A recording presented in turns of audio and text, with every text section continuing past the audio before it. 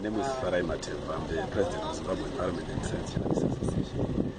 Uh, we are to witness uh, uh, the work that is under, under that is being undertaken by some youth to recycle plastics to earn a living out of it.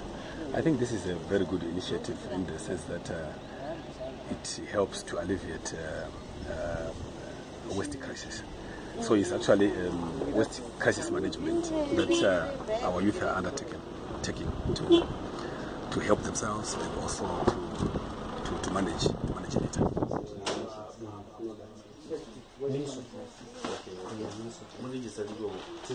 jekwa ndini chairperson wemutare plastic recycling center.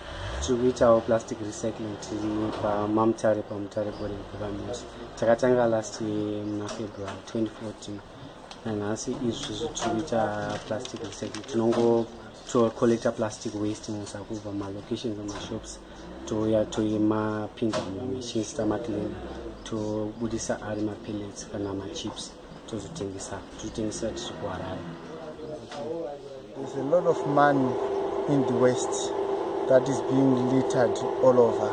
So I'm urging every citizen of Zimbabwe to, to, to ensure that waste is being separated from domestic, if it is a residential area, from a commercial areas, so that it becomes easier for these guys who are into waste recycling to manage their waste.